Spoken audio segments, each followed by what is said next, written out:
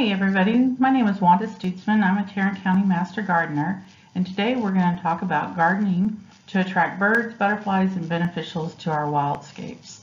Um, thank you for joining us. Uh, this presentation was originally created by um, Marilyn Salih, who was a Tarrant County Master Gardener, and I have made some modifications to it. So I want to give her credit because some of the pictures are hers as well. Today's presentation is brought to you by TRWD. It's Tarrant Regional Water District.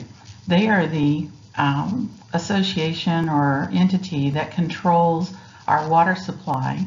A lot of our water in the Tarrant um, County region comes from the Richland Chambers uh, Lake and the Cedar Creek Lake. They have to pump it all the way up here to Fort Worth. And a few years ago, they decided that they wanted to partner with Tarrant County Master Gardeners to educate the community on um, water conservation. Looking ahead, as the population is going to grow, they thought that instead of putting larger pipelines or more pipelines in, maybe if we talk to people about um, managing their water consumption and uh, using special tools that are available to them for sprinkler systems and such that they could um, uh, reduce the water consumption and therefore we don't have to pump as much water from those um, aquifers. So SaveTarrantWater.com is their website. Um, it is a great resource for you as a homeowner. You can um, sign up for a free sprinkler check um, by a licensed sprinkler uh, inspection person and they'll come out and they'll make sure that you are not uh, um, having leaks or if you're watering the appropriate amount of time for your yard or overwatering and that type of thing. Um, then they also offer free weekly watering advice, um, have calendar events and classes like this one um, for you to sign up for, and then lots of water saving tips and videos. And uh, they're finding that this information has really been very helpful to the communities. But today we're going to talk about inviting garden wildlife to our um, gardens, our home gardens. We can call them wildscapes, and sometimes this time of year, it's the summer, we have a lot of weeds in our gardens, and so it looks pretty wild. Um, but uh, anyhow, so what is a wildscape? Um, it provides food, water, shelter for wildlife. And those are the three main elements that are needed for birds, butterflies, hummingbirds, and other creatures. These can be small and simple um, sources for the birds and hummingbirds, uh, such as bird seed, hummingbird feeders, dish of water or a bird bath, a shrub to hide in or to nest in. But they can also be expensive. You can do your whole landscape in native plants for specific species. But one thing that was really important in creating a wildscape and trying to attract, attract wildlife to your uh, property is that you do not use chemicals. And if you do use them, use them very sparingly and you read the labels on the um, chemical bottles. Why have a wildscape? Well, we want to bring uh, nature closer to us. Um, in the past years, we've all sort of been locked up in our houses due to the pandemic and um, we wanted to be able to see the wildlife. Um, we started feeding birds more readily in our yards during the winter. Um, it was one of the only sources of enjoyment we had for nature for a few months. But um, just bringing those uh, animals into your yard and you know that you have a healthy, happy uh, wildscape. So there's um, birds, butterflies, beneficial insects, which there are plenty of those, um, small animals and um, like toads and frogs and lizards and then um, enjoying the native plants that they're also enjoying. So then you have a, a healthier yard for you and for them. How to make a wildscape? Well, um, what is the best way to attract it? Um, uh, how much space do you need? And provide food, water, shelter, and safety to your um, for the animals. So let's talk about that. Food, uh, native plants or a dish of food, water, a puddle, a bird bath, or a pond, shelter, shrubs, rocks, trees, brush, Um, and yes, brush is really important. A lot of birds nest and are ground feeders and they like to be in the brush. Uh, safety, a really safe place to raise their young. Preparing your soil for nectar plants. Uh, creating a successful gardener, garden starts with preparing the soil that plants will thrive in. Soil is very important. Identify your soil type, get your soil tested through our program, uh, Texas A&M AgriLife Extension. Uh, you can Google soil testing Texas A&M and it will come up with a website and they have the forms and they tell you how to uh, collect the soil. And getting your soil test is really important because some of us have um, high levels of phosphate, some of us have high levels of magnesium, some of us have absolutely no nitrogen in our soil. Uh, even though the soil seems to be healthy and happy, um, the nitrogen is, is missing. So we add that. Um, so then we add in the needed compost and amendments to create the healthy soil. And um, we do that here on my property with um, adding uh, compost um, and then uh, feeding it with um, a organic fertilizer a few times a year. And then when if you have clay soil, you're going to want to um, add expanded shell for more drainage. That is very critical um, as you till your gray, uh, clay soil, adding expanded shell, adding compost, organic matter, creating a better, healthier soil. If you have sandy soil, you're going to want to add um, a heavier compost um, to bulk up that soil um, to retain water. Because if you do not amend the sandy soil, the water that you do apply goes straight through it.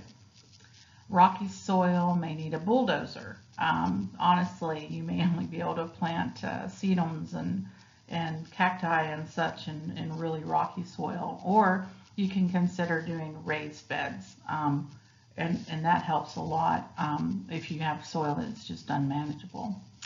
Um, install drip irrigation system that you can um, uh, then control the volume of the water that is provided to the plants and that is um, something we teach people how to design. Um, and then all good soil needs earthworms and that's why I added that little image at the bottom. Uh, earthworms are viable to maintaining healthy soil we mean, we mean when we say no chemicals? Well, there's three main pesticides. There's uh, insecticides, fungicides, and herbicides. In our home garden, they will do more damage than good. So we look for alternative ways to treat um, infestations of uh, bacteria, infestations of um, animals, and um, any diseases that apply. So definitely research those chemicals before you apply them. More is not better. Um, that is a motto of ours, uh, especially even with fertilizer, more is not better. So consider um, applying as directed and read those instructions. But it's preferred that you do not use any of these harsh chemicals in your garden. And there are uh, alternatives uh, available. Pesticides are a broad spectrum and non-selective, so they will kill beneficial insects as well as non-beneficial. And so you have to remember that. Even though you may want to get around uh, or get away from snails um, or slugs, you may also be hurting uh, roly-polies or ladybugs. The larvae of our beneficial insects will die if they consume plants treated with pesticides. And that's very true with monarch butterflies um, and uh, many of the other uh, species that come to our gardens. Bees will die from collected pollen on treated plants. So even though we don't see it, uh, we don't see the damage being done when they collect the pollen, um, they uh, will take it back to their hives and then that will eventually destroy their hive. Stored water runoff also carries all of these pesticides, herbicides, and such into our lakes, causing more damage to our ecosystems. So you have to really remember that. Um, and uh, be cautious of how much of these products you're putting on your, your yard and flowers. What to use instead? Um, there are things like sticky traps, uh, insecticidal soaps, dormant oils used in small areas at a time, um, and then 20% vinegar as a weed killer. Uh, that's these are all available at your big box stores or your small um, uh, commercial nurseries or, or retail nurseries, may I say. And, um, and then select some plants that will help deter unwanted pests like marigolds and citronella geranium and things like that. And we all tend to want to plant those deter mosquitoes for sure. Wildscape features for attracting butterflies. Um, butterflies are wonderful assets to our garden and they're just such a treat to watch. What do you need to put in place to attract butterflies? Well, you need nectar food, um, host plants for caterpillars, water, shelter, and a place to rest in the sun. So you really, you need all five of these elements, um, not just one that's going to do it. So just because you've got food, um, if you don't have the shelter and the host plants for the caterpillars, the butterflies will search those places out other in other people's gardens. Food for butterflies is the nectar from the flowers. So a lot of our trumpet looking uh, flowers and such have a lot of nectar down inside of them. Typically the flowers are colors like hot red, pink, orange, purple. Um, their shape and tubular trumpet shape. And um, if you right off the bat, you can think of a ton of different um, plants like that. There's daylilies, there's trumpet vine, there's honeysuckle, um, a lot of different plants, um, standing cypress, uh, salvias, uh, they all have those shapes and they all have um, nectar. Uh, the structure flat or um, they present their centers. So the tube opens up so that the, the um, bee or butterfly can get into um, the plant to get the nectar. Um, you can do other things too. If you don't have all these plants, maybe you just have a patio garden um, and you can add a, a saucer with nectar or rotting fruit.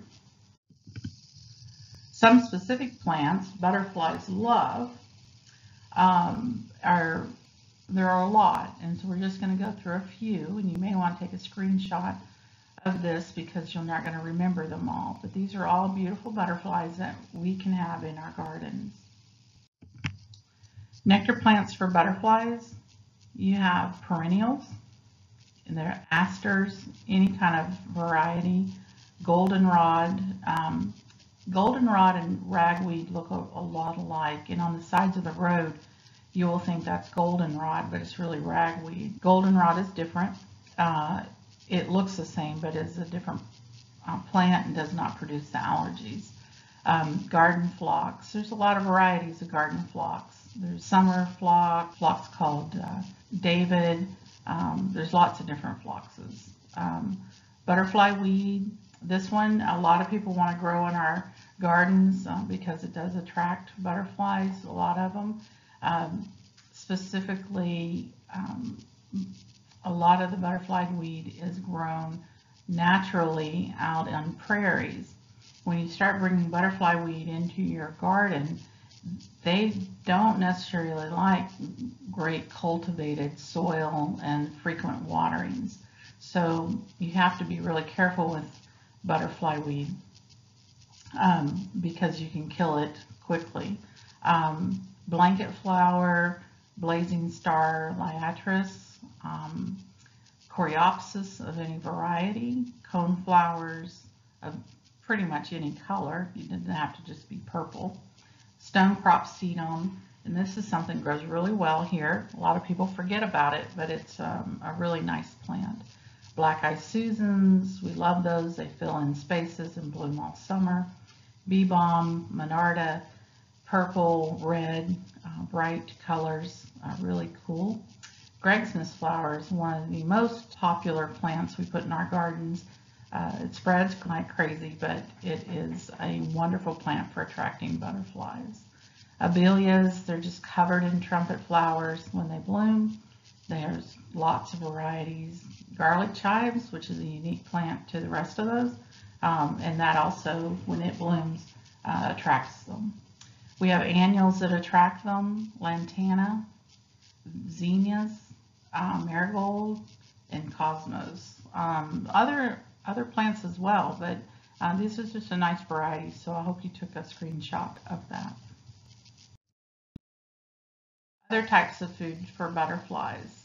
Um, hummingbird nectar, whipped from a jar, rotting fruit in a tray, um, which is kind of, sounds disgusting, uh, but an ants might get in it, but you might refresh it often and um, put it in a place the ants might not be able to get to it, especially if you were to like hang it. And then you have sweet stuff painted on uh, tree trunks or in a saucer. Um, just a pink, uh, a sweet gooey product of some sort that um, you could put out there and just paint on a tree trunk. Of course, that will attract ants, but if it's on a tree, you might not mind at all. The water for butterflies equals um, a shallow moisture where they can um, drink safely. Uh, they don't like deep ponds, they don't like swimming pools, they just like very shallow um, sources of water like mud puddles. Uh, they drink uh, in the dissolved minerals and nutrients from those. Um, rocks and bird baths uh, provide a great landing spot uh, so that the uh, butterfly doesn't have to actually get in uh, the water totally. Um, and then saucers that are very shallow, like uh, the saucer that goes under a clay pot or something. That sometimes I just set those over to the side and I put water in those um, on the ground for any passerbys, anybody who might want to pass by. Um, shelter for butterflies equals rest and protection. So in summer, butterflies can find many places for shelter, but in the winter, butterflies need more protected shelter. Um, so like monarchs, sulfas, and snouts, they migrate, but there are a lot of others that do not migrate, and they want um, some protection. So in the winter, they will hibernate in tree bark, wood piles, tall grasses, and spent perennials um, which is really kind of neat because we don't trim back a lot of our perennials until February. Um, we and we don't trim back a lot of our tall grasses until then. So over the winter they can um, uh, rest in there and take shelter. Host plants for butterfly caterpillars. Again, this is another one you might want to take a screenshot of because it'd be difficult to remember. But monarchs only like milkweed um, black swallowtails um, like carrots, rue, parsley, dill, and fennel. So those are more of a, a, a vegetable garden crop or herb crops. Tiger swallowtails, um, they do wild cherry, birch, ash, poplar, poplar, um, apple trees, tulip trees, uh, sycamore. So again, they're more in the trees. Pipe vine swallowtails, just do Dutchman's pipe. Um, so again, and that's not an easy plant to grow or come across. And a lot of people um, search for it and uh, look for cuttings and such for Dutchman's pipe. Great spangled filter fritillary. Um, they like violets. Um, so again, you have your mourning cloak and the willow and the elm. So again, take a, a screenshot of this um, and save it so that you um, will have it for reference when you're planting your garden. Caterpillar to butterfly monarch. So here we have um, a caterpillar uh, on milkweed and there's a chrysalis right above it. And then we have the butterfly on the uh, another plant, maybe um, a penta or something, getting some nectar. anyhow, so we want to talk about the stages of this. Um, butterflies lay their eggs, uh, monarch butterflies specifically lay their eggs there so that when the larvae are hatch, uh, they have the source of food ready and available to them. So they are looking for um, mature um, milkweed for their eggs and their caterpillars to munch on.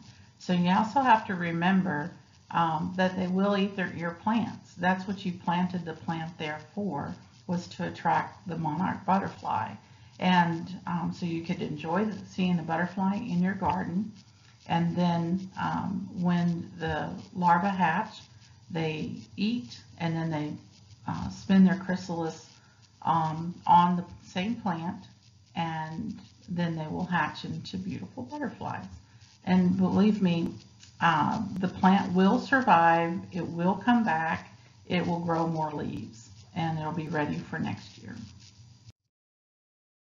So larva food. Um, so a, a um, only eat passion vine. So uh, this is the um, butterfly here, um, and then here are the caterpillars. And so again, just like the monarch on uh, milkweed, we have um, this one will only like to eat passion vine. So if you do all the things that we just talked about, then you could go to the monarchwatch.org uh, website and you could look at the requirements and application and, and get a certified um, monarch way station habitat in your garden. I know a number of people who have them and um, they just enjoy the butterflies and feeding the, the uh, caterpillars. Wildscapes uh, features for attracting birds. So we've talked about butterflies and we're talking now about birds. And we all love birds. So the requirements, again, some of the same things, food, water, shelter, a place to rest, and a good place to raise their young. So almost the exact same um, requirements as a butterfly, but they're going to be different elements. Um, bird feeders, definitely have bird feeders. Um, there are many styles and different styles attract different birds because they hold different seed. And um, so you can do your research there. There's a lot of um, a lot of places to obtain those. But birds also like um, uh, seeds, seeds from our plants.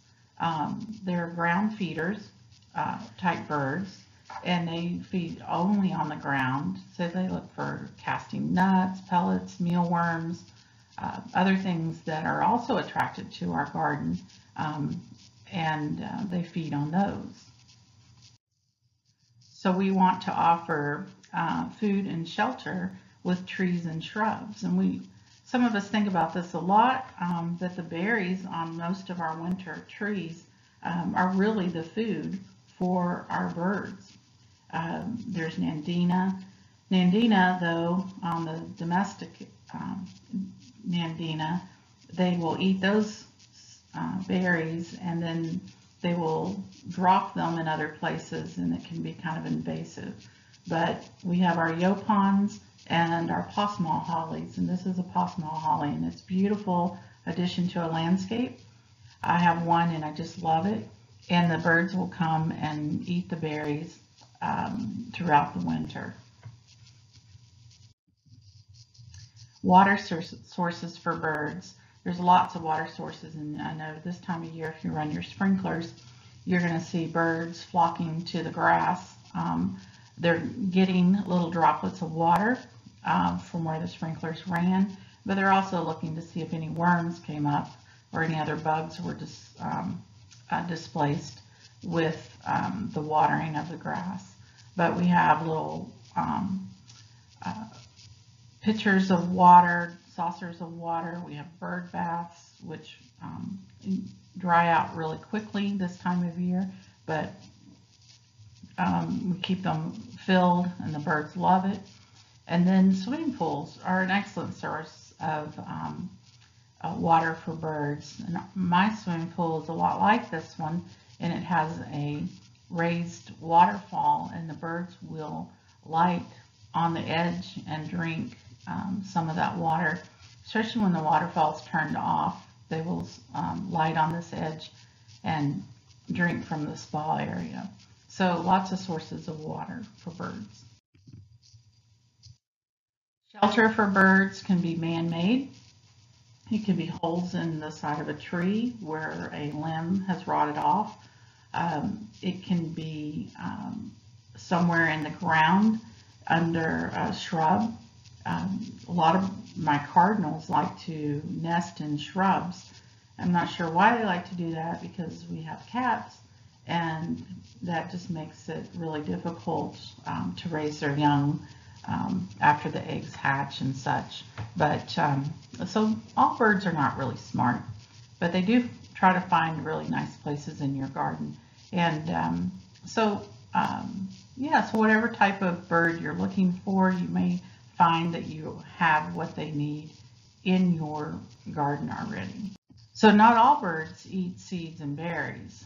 All these big birds, pileated woodpecker, the turkey vulture, this is a hawk, um, and uh, road runners, they will eat any kind of bugs, grasshoppers, um, small rodents, and that type of thing, which we all know. So we want to be able to attract those to our garden as well.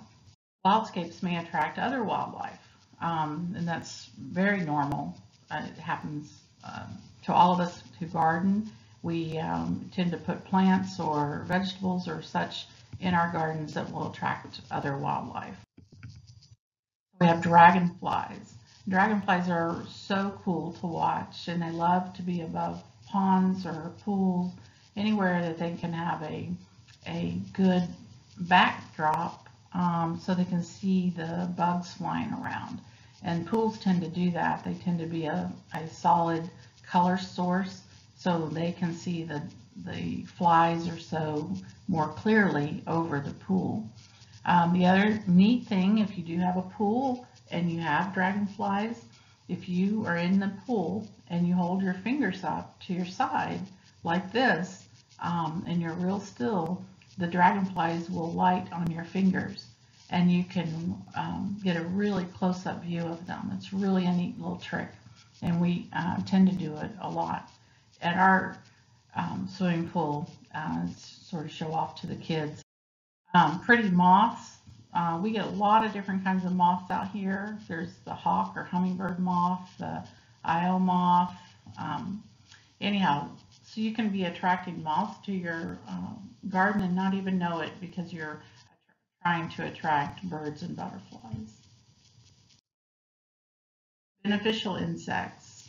We have lacewing eggs right over here, and this is an adult lacewing. They are very beneficial. Praying mantis. Um, I just saw a new baby the other day.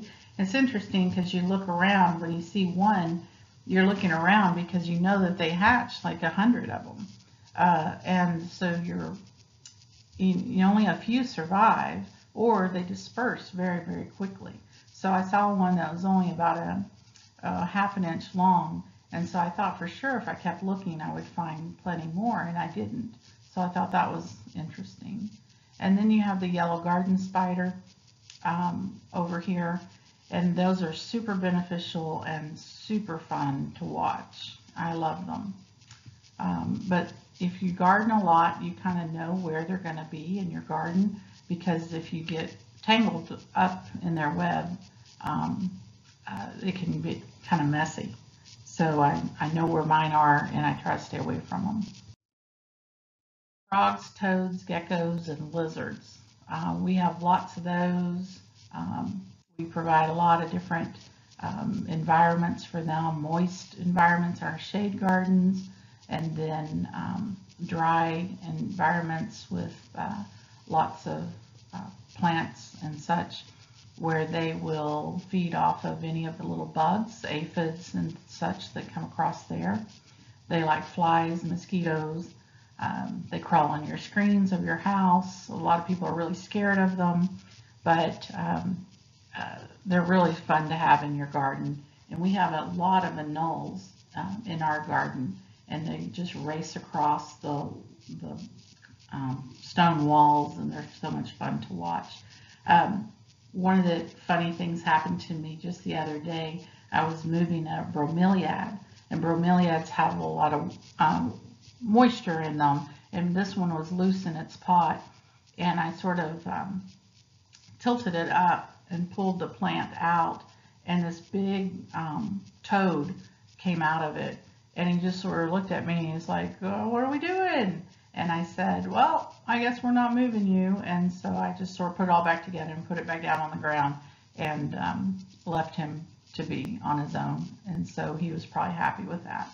Um, but anyhow, you, you just never know where those are, dudes are hanging out. So then we have small animals, and we have all of these at my house. Um, raccoon, I don't know, we've seen very many of those, but we have possums and squirrels and lots of rabbits, and the rabbits lay their clutch, I assume that's what it's called, um, everywhere in my iris, um, on the edge of the property. But when you have these animals, you're attracting bigger animals. And um, I love to watch these, but we live on a busy road and it's it's not fun to see where a car and the bird and the small animal collided at night. But um, anyhow, uh, they don't really tend to carry the diseases that people are scared that they do. Um, raccoons can carry rabies, uh, uh, but um, just don't interact with them and leave them be. And then we have our larger animals. We have wild turkeys out here. Um, we have lots of coyotes. And the other day I ran a bobcat off of my back patio. I probably should have let it be, but I was a little startled to see it. And, um, and I was just ran up to it and I said, what are you doing here? And he took off and jumped over the fence. Um, he was a good looking guy or girl and um, anyhow, you know, you just get a little startled when you walk out your back door and you see um, uh, a wild animal like that just sort of walking around. And I probably, as again, do not approach them like I did. But um, anyhow, so I, we only see them every now and then, and we see more activity now that our neighbors have chickens. Um, prior to the chickens, we had lived here eight years, and yeah, we could hear the coyotes off in the distance. Um, maybe every now and then we could see a sighting of a bobcat, but it just seems like now that the chickens are around, there's an awful lot more activity. And luckily for me, um, the deer are only a few miles away, but they have not been to um, my garden, and that's a blessing because they love half of what I have planted in my garden. So you can become um, have a certified wildscape.